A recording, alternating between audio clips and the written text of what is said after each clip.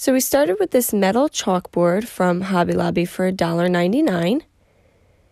And we took one of our Studio R12 stencils and we laid it on top of the chalkboard.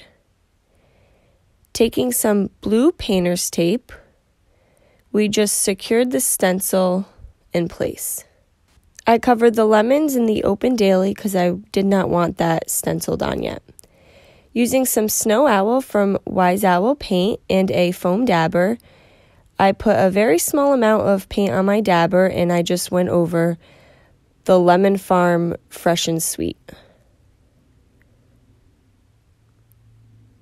And then I removed the stencil.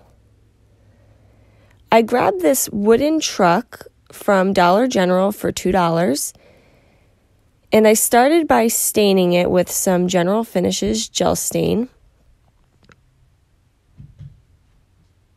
And you just use a foam brush and then wipe it off with a paper towel. I painted the back of the truck using goldenrod from Wise Owl because I was not sure if it was going to be exposed. And I took these artificial lemon plants that I got from Michaels for 50% off and I just cut the lemons off of the bundle and I just started to glue them to cover up the Easter eggs.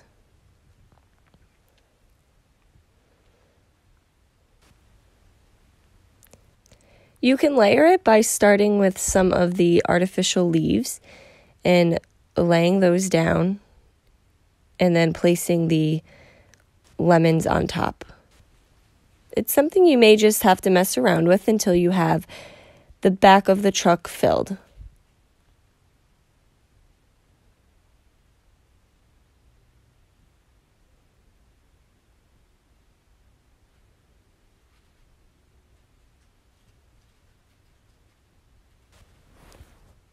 And once that was done, I took a popsicle stick and I measured it to the length of the back of the truck and I cut it using my metal shears.